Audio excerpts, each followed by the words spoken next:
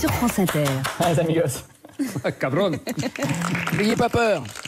Si. Alors, Mais il y a pas une espèce de lancement, Nagui On va retrouver ton optimisme légendaire puisque tu penses que ce sera aujourd'hui ta dernière fête du travail, carrément.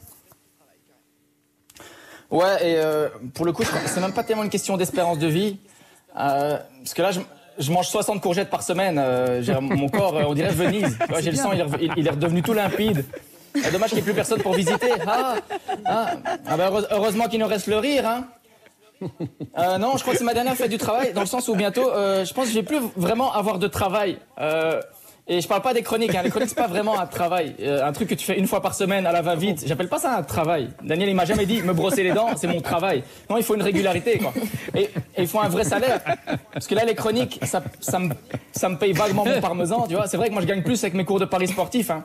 Vous voulez un tuyau? PSG Rennes, ça va être reporté. Gardez vos sous pour acheter une visière.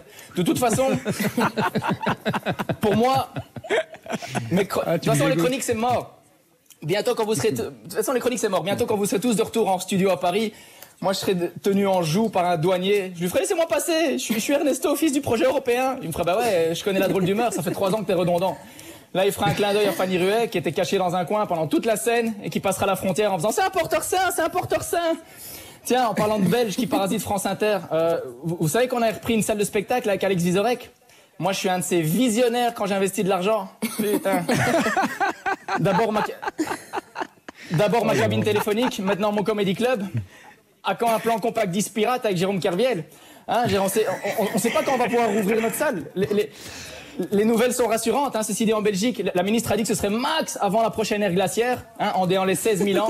Un mardi, en plus, comme par hasard, le jour de l'happy hour. Putain, le, le- le- le stand-up, c'est la galère. Hein. C'est ça mon vrai métier. Là, je venais de sortir un deuxième spectacle. Les, critiques étaient top. Robert Ménard m'avait dit ça fait longtemps que j'avais pas autant ri. L'heure actuelle, ils m'ont appelé le nouveau Pasturo. Ça partait bien et tout. Hein.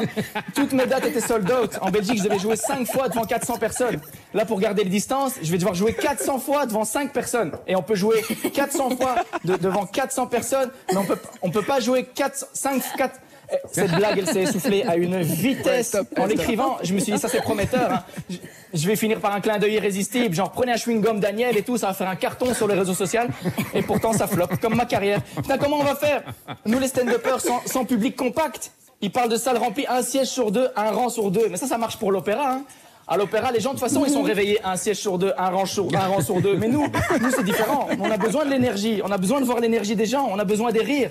Surtout moi, Jean-Marina Rollman, ça, si ça rigole pas, au moins les gens, ils se disent, c'est intelligent. Moi, si ça rigole pas, les gens, ils se disent, euh, OK, on en sait un petit peu plus sur la géométrie de sa bite. Maintenant, est-ce qu'on peut récupérer nos 35 euros? Toi, c'est pas pareil, quoi. Je suis inquiet parce que stand-upper, c'est le travail que j'ai préféré de ma vie jusqu'à présent, quoi. Et, et il va encore falloir que je me reconvertisse. Et je sais que Nagui cherche un assistant, mais moi, j'y connais rien en massage de pied. En plus, je suis, allé- je suis allergique aux callosités. Ça, ça- ça- ça va encore me passer sous le nez, cette histoire. Non, l'avenir, il est sombre. hein. Du coup, je crois que je vais arrêter de manger les courgettes. Allez, bonne émission, les amis. Bravo. Yeah, bah, bravo